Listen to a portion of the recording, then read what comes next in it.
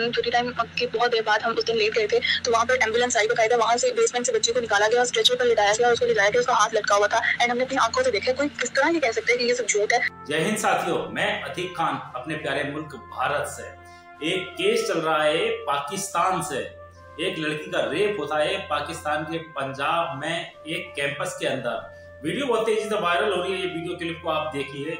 और इस video clip को वायरल करने वाली एक लड़की ने जब इसको अपलोड किया अपने इंस्टाग्राम अकाउंट पर और फेसबुक अकाउंट पर, लेकिन इसके तुरंत कुछ घंटों बाद ही इसका ऐसा क्या उल्टा हुआ कि इसका खामियाजा इस लड़की थी जी बेटा, ईमान आप बताइए, आपने कैसे बनाया और क्या शुरू किया? अस्सलाम वालेकुम। मेरा नाम ईमान है और मैं पंजाब कॉलेज में ही पढ़ती हूँ। मैं आईसीएस की स्टूडेंट हूँ। मैंने एक ब्लॉग बनाया था पीटीसी के रेप केस के बारे में जो स्कैंडल्स चल रहे थे। आ, मैंने कोई इन्वेस्टिगेशन वगैरह कुछ भी नहीं किया ना मुझे पता था कि ये बात फेक है या राइट है या क्या है लेकिन मैंने फिर भी उस पर एक ब्लॉग बनाया। मैंने जो बातें एक इंस्टाग्राम पे ग्रुप बना था वहाँ पे बच्चियाँ बोल रही थी कि प्रिंसिपल ने जो है हमारे फ़ोन तोड़ दिए हैं हमें मतलब सेट किया है। ऐसी कोई भी बात नहीं थी। वो सिर्फ़ खुद से बातें बना रही थी जिसपे मैंने भी यकीन कर लिया और मैंने अपने चैनल पे वीडियो बना के अपलोड की। ऐसा कुछ भी नहीं हुआ था और ये बात भी एक फेक प्रोपागेंडा थी जो मुझे अब उन्होंने बताई है। मुझे पहले नहीं पता था। इससे मैंने ये वीडियो बना दी थी और लेकिन इसका देखिए उल्टा रीजन देखिए। आवाम गला फाड़ फाड़ कर चीख चीख कर जनता पुकार रही है कि लड़की को इंसाफ दो। ये सुनने को भी मिला कि एक प्राइवेट कॉलेज की स्टूडेंट जिसका रेप किया गया है, उसको एक प्राइवेट हॉस्पिटल में ले जाया गया। हम लोग अभी एक सरकारी अस्पताल में खड़े हैं और ना सिर्फ़ इस अस्पताल के अंदर हम लोगों ने रिकॉर्ड्स को चेक किया, बल्कि उस निजी अस्पताल के अंदर भी हम लोगों ने सारे रिकॉर्ड्स को चेक किया और बात ये सामने आई कि ऐसी कोई भी admission related to any girl जिसका रेप हुआ हो, और जिस कैंपस के अंदर ये रेप होता है कैंपस की प्रिंसिपल से लेके पाकिस्तान की एसएसपी तलक या फिर कोई बड़ा उच्च अधिकारी क्यों ना हो पाकिस्तान का इस चीज़ को उल्टे तरीके से ही बयान कर रहा है और वो बोल रहे हैं कि ऐसा कोई वाक्य नहीं हुआ। तक हम तब से रिक्वेस्ट कर रहे हैं आज भी मैं ये बात करता हूँ कि अगर कोई विक्टिम है तो प्लीज़ हमें उसकी डिटेल बताएँ हम फ़ौरन कार्रवाई करें पर्चा दें।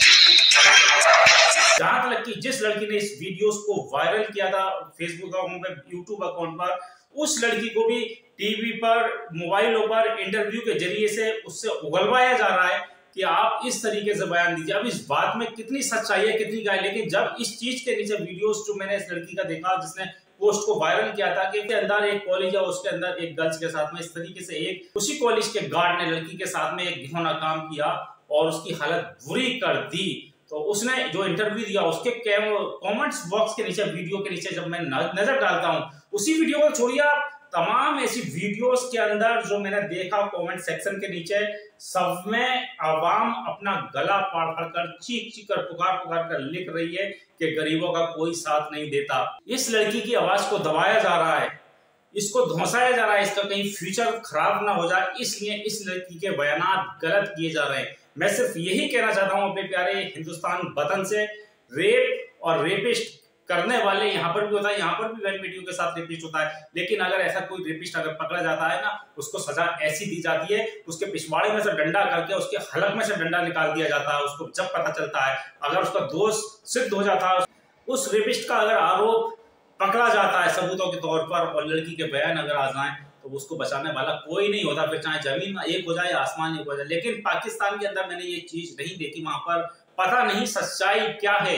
लेकिन जो चीज़, जिस चीज़ को आप गला फाड़ फाड़ के चीख रही है, पुकार रही है यहाँ तक तीस से ज़्यादा स्टूडेंट भी वहाँ की हालत इतनी खराब हो गई है कि वहाँ के पुलिस वालों को रोड पर बमबारी करनी पड़ रही है, यानी कि धुआँ गैस के जो होते हैं वो फेंके जा रहे हैं। एक एक वीडियो क्लिप में आपको दिखाऊँगा कि देखिए किस तरीके से इस चीज़ को अदल बदल कर दिखाया जा रहा है। पता नहीं वाकई उस लड़की के साथ में ऐसा हुआ है या नहीं हुआ है, ये तो वही जाने। लेकिन इसकी फैमिली वाले की भी मैं आपको वीडियो दिखाने वाला हूँ, उसके भाई और उसके चचा और उसके वालिद। देखिए किस तरीके से नकाब पोस्ट कर आते हैं और ये भी इंटरव्यू देते हैं एसएसपी के सामने। कि हमारी लड़की के साथ एक इंसिडेंट हुआ था और वो कॉलेज में जो वाक्य हुआ है, उसके लिए सोशल मीडिया पे काफ़ी वीडियोस वायरल हुई हैं। उसमें ये प्रोपोगंडा किया गया जा रहा है कि मतलब हमारी बच्ची का नाम लिया जा रहा है इसमें। तो इसमें ये है कि इसमें कोई ऐसी चीज़ नहीं है कि हमारी बच्ची घर पे एक इंसिडेंट मतलब हुआ है कि पाँव स्लिप होने की वजह से वो गिरी हैं। उनको बैक पाउंड पे चोट लगी है।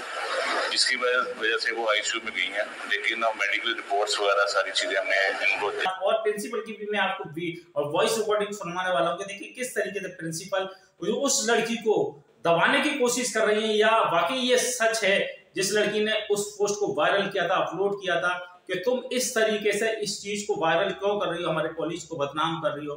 तो ये एक साइबर क्राइम है। उस लड़की को ऐसे स्कूल की प्रिंसिपल ने किया। बाकी मैं अपनी तरफ़ से अगर कहना चाहता हूँ या बाकी अगर क्रिमिनल रिकॉर्ड किसी गार्ड ने किया है तो उसको सजा वाकई दिलानी चाहिए और